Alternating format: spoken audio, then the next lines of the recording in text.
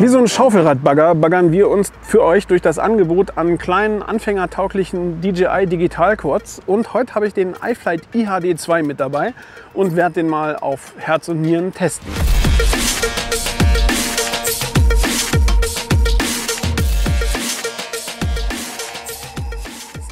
Der iFlight IHD 2 ist ein ähnliches Angebot wie den HGLRC Sektor 132, den wir in einem der letzten Copter-Testvideos hier auf dem Kanal hatten.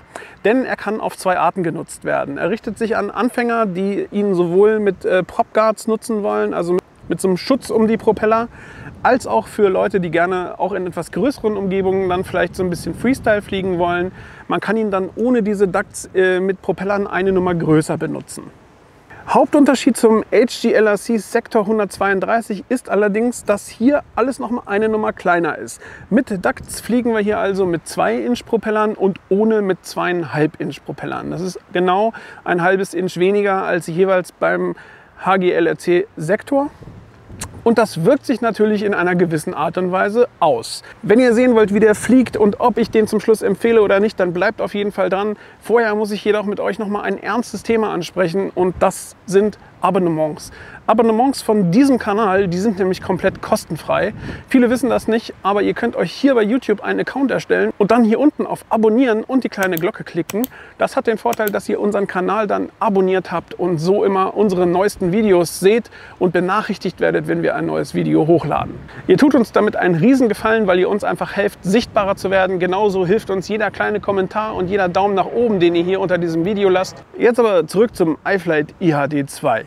Ehrlich gesagt habe ich mich über den schon mehr geärgert als über die meisten anderen Quads, bevor ich überhaupt das erste Mal mit dem in der Luft war.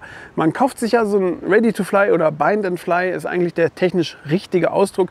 Also ein Kopter, den man nur noch binden muss und gleich losfliegen kann, weil man selber keinen Bock hat, an so einem Ding so richtig viel rumzubasteln. Und leider ist beim iFlight IHD 2 genau das Gegenteil auf der Tagesordnung, wenn ihr den erstmal bekommt. Denn man muss ja den Receiver mit seiner Funke binden, da war ich es in der Vergangenheit von iFlight schon gewöhnt, dass ich da die Topplate abnehmen muss, um an den Beinknopf von dem Receiver zu kommen. Allerdings äh, hat man diesmal echt den Vogel abgeschossen, weil der Quad kommt mit den Ducts drauf, also in der Konfiguration mit 2 Inch Propellern. Und das macht es einem komplett unmöglich, an die Cadex Vista zu kommen. Und jeder DJI-Pilot weiß, bevor man mit einem DJI-Copter abheben kann, muss man das einmal an die DJI Assistant Software anschließen und aktivieren. Und dafür muss man schon den halben Quad einmal auseinandernehmen. Und das finde ich echt richtig doof. Sorry, iFlight, aber das ist echt ein Nachteil und nicht so richtig durchdacht. Äh, zumal für hier hinten den Flight Controller auch so ein kleiner L-Winkel mit dabei liegt. Hätte man den nicht auch noch für die äh, Cadex Vista mit hinzutun können? Also irgendwie ist das komplett undurchdacht und ihr müsst wirklich erstmal eine halbe Stunde das ganze Ding auseinandernehmen, um dann damit fliegen zu können. Und das bringt uns auch schon zur Flugperformance mit den 2-Inch-Propellern mit dem PropGuard-Duct. Weil ein Duct ist das nicht wirklich. Ein Duct ist immer erst dann vorhanden, wenn etwas trichterförmig ist und so ein bisschen mit hilft, besseren Schub zu haben. In diesem Fall ist das eher ein PropGuard und die Flugperformance mit diesen 2-Inch-Propellern, die ist wirklich verbesserungswürdig. Also das ist gar nicht für Anfänger gedacht. Es ist sehr schwer, den damit zu fliegen. Ähm, er lässt sich sehr schwer handhaben, ist richtig biestig. Ähm, mir hat das überhaupt gar keinen Spaß gemacht, den mit 2-Inch-Propellern und den Ducts zu fliegen. Ich würde wirklich, wenn ihr euch für den entscheidet und den kauft, plant das hauptsächlich in dieser Konfiguration einzunutzen mit den zweieinhalb Inch Propellern und äh, eben ohne Ducts, weil mit den kleinen Propellern macht das einfach keinen Spaß. Dafür ist er zu schwer. Es ist schwierig, den Hand zu haben. Ähm, es ist wirklich nur, wenn man das unbedingt braucht, weil man keine Menschen oder Gegenstände verletzen möchte und so ein bisschen irgendwie im eigenen Garten mal rumhovern möchte.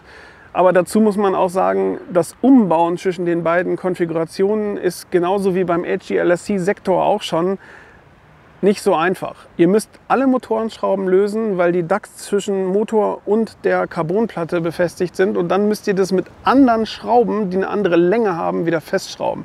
Die ganze Aktion dauert selbst, wenn man geübt ist, eine Viertelstunde und nervt total.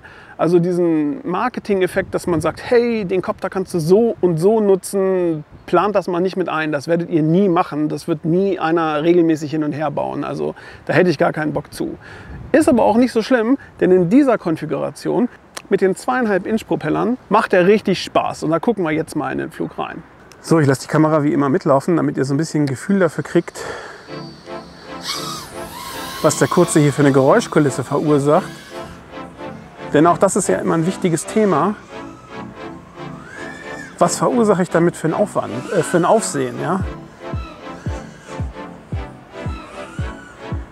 Bin jetzt hier natürlich auf dem Unicampus und möchte möglichst wenig Aufsehen erregen, was mir glaube ich auch ganz gut gelingt, denn so laut ist er nicht. Es ist sehr windig. Also wenn ihr hier gleich so ein bisschen Yellow seht im Bild, das liegt auch wirklich daran, dass es doch sehr windig ist. Also es herrscht eine steife Brise hier. Sowas hier wie eben, das kann durchaus dann auch am Wind liegen. Mit Ducts haben wir übrigens eine Flugzeit von vier Minuten. Wenn ihr so ein bisschen äh, mit der 2-Inch Duct-Konfiguration durch den Garten havern wollt, dann landet ihr bei etwa zwei Minuten.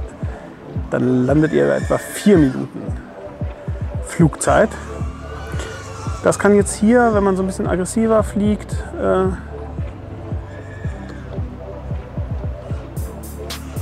weniger werden. Ja, also hier, das ist schon dem Wind geschuldet, dass der jetzt hier so ein bisschen jitterig ist. So schlecht ist der nicht getuned ab Werk. Im Gegenteil, bei kompletter Windstille, die sich hier in Norddeutschland leider sehr schwierig replizieren lässt, ist das ein sehr gut getunter Chord. Aber natürlich müsst ihr damit rechnen, je leichter die Dinger sind, desto anfälliger sind sie für irgendwelche Windkräfte. Soeben kam die erste Akkuwarnung. Ich fliege ein Tattoo 450 mAh hier drauf. Zwei Minuten Flugzeit haben wir jetzt drin. Aber wir drehen ihn nachher natürlich auch oft komplett aus, darf man nicht vergessen.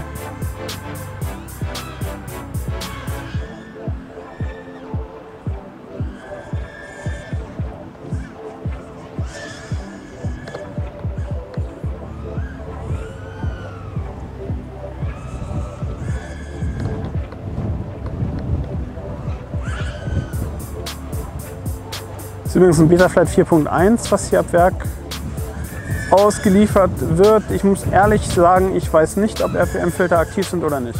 Habe ich nicht geguckt. Der Current-Sensor scheint aber ganz gut kalibriert zu sein.